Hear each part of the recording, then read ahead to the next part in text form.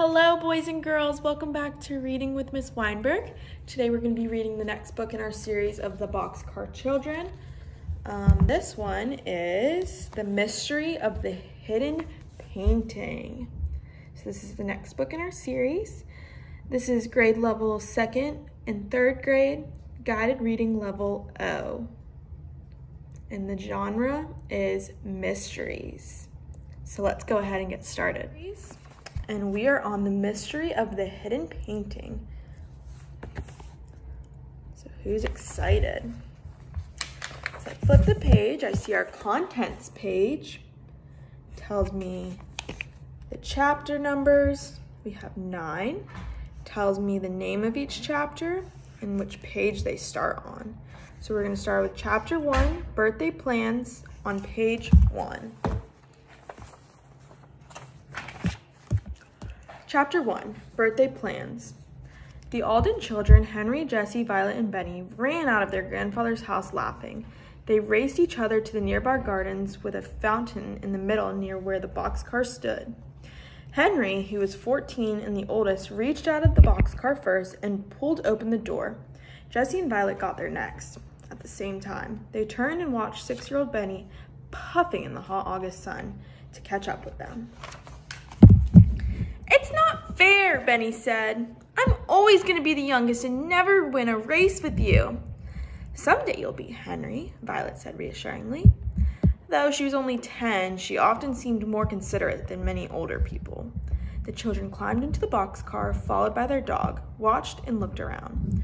Phew, Benny said, it's so dirty. Henry got the broom Jessie had made when they had lived in the boxcar and started sweeping the floor. We haven't been in here in a while. That's why it's so dusty. But I like it anyway. Jessie smiled and spoke in a voice that she used when she wanted to sound older than 12. Remember when we ran away and lived here when, after mother and father died? I think I can remember every day. Remember how we hid from grandfather? Yes, said Benny, because we thought he was mean and wouldn't like living with him. And look how wonderful and kind he is, Violet said, and how happy we are with him. That's why we're here, Henry said, because we love him and we want to plan him a wonderful party for his birthday next month. We have a lot of work to do then. Let's get started, Jessie said. It's awfully hot in here. Wait, Benny interrupted. First, let's eat. I'm hungry, Violet finished for him. She reached into the basket she had brought with her. Mrs. McGregor packed a little snack for us. Jessie went to the shelf that held the dishes they had found and used when they lived in the boxcar. She took four cups. But Violet said, We only need three. I brought Benny's cup from home. I couldn't forget Benny's cup. Benny took a cracked pink cup from the basket and held it out. Henry lifted out spice cookies and a carton of milk and filled Benny's cup. Jessie took peaches and plums and put them in a bowl. Then she piled bananas on top of the fresh fruit. The boxcar was exactly the same as it had been when the children had lived in it, except that Mrs. McGregor had given the children four plump, bright colored cushions so they could sit on them on the floor. Now they got comfortable and chewed on the delicious cookies.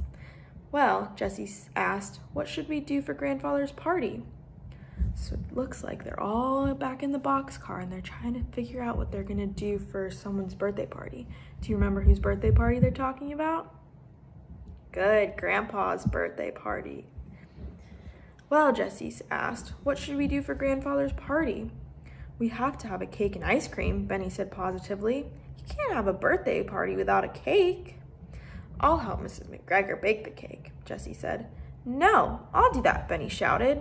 Violet laughed. I knew you'd say that. Well, I'll play the violin for grandfather. So we have all of the brothers and sisters sitting around they're drinking their milk, eating their cookies and their fruit, and planning out grandfather's birthday party. I'll be glad to do that. I'll have to think about what to play, and I'll decorate the dining room, Jessie said. I think I'll write a poem, Henry said. We were studying poetry in school at the end of the term. I'll be able to put what I learned to good use.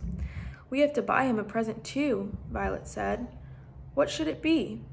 Model cars, Benny said. The other children laughed. Henry said, I saw grandfather looking at a sweater in the Barlow's men's shop last week. I think he'd like that. We could all chip in and I'll buy it. I don't have much money, Benny said. thoughtfully. I won't be able to pay my share. We'll work it all out, Benny. Don't worry, Jessie said, pan- patting his shoulder. Violet suddenly jumped up. I know! Let's dress up for the party. You mean I have to wear a tie? Benny said mournfully. No, Violet said. I mean, dress up like in costumes. There are all kinds of old clothes in the attic. We could use those. It would be like a masquerade. Grandfather would love it. I know it. That's a wonderful idea, Jessie said eagerly. Henry made a face. I don't know. Dressing up is sort of childish, don't you think? No, Violet and Jessie said at the same time. Come on. Jessie grabbed Henry's hand. Let's go up to the attic right now. I know you'll like dressing up.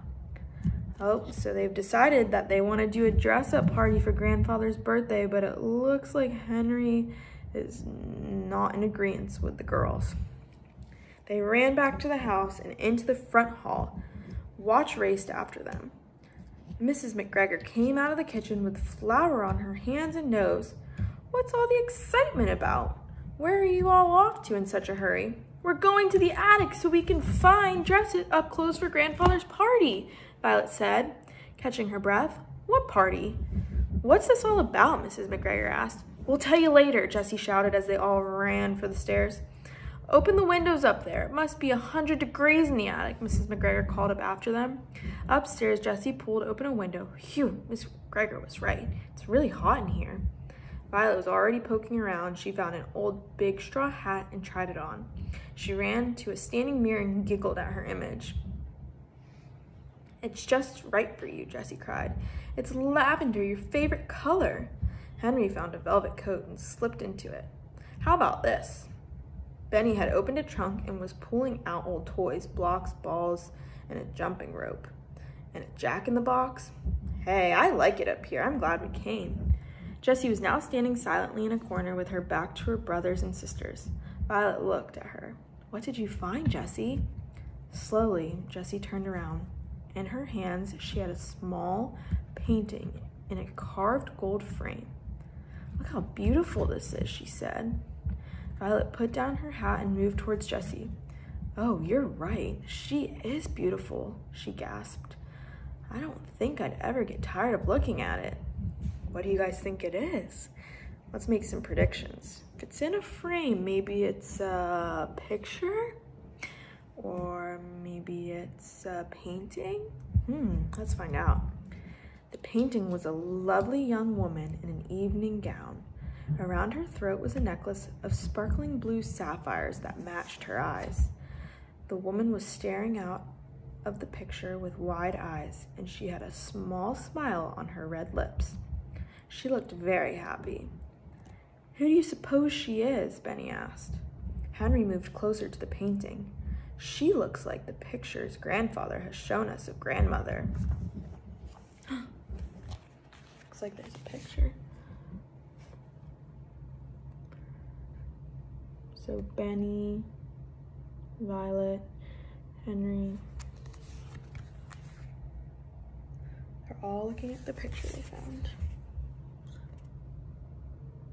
You can see the sapphire necklace. But those pictures were of an older lady, Jessie said. Well, Violet said thoughtfully, this could have been painted when grandmother was much younger. But if this is grandmother. Why is the picture hidden up here? Henry wondered. Benny shrugged. Why don't we ask grandfather? He'll know. Grandfather always knows everything, Jessie laughed. Benny, you always get right to the point. So that's the end of chapter one. So let's do a little recap. So these four siblings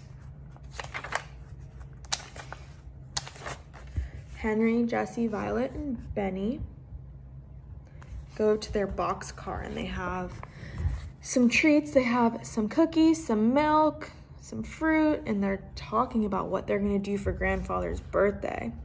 And they ultimately decide that they're to have a dress up party.